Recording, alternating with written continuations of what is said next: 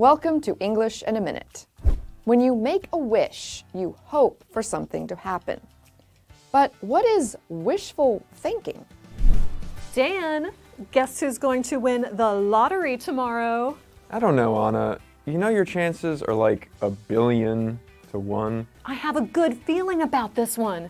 In fact, I test drove the car that I'm going to buy when I win.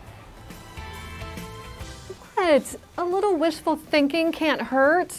A little wishful thinking? With wishful thinking, we think or act like our wish is going to come true, even though it probably will not.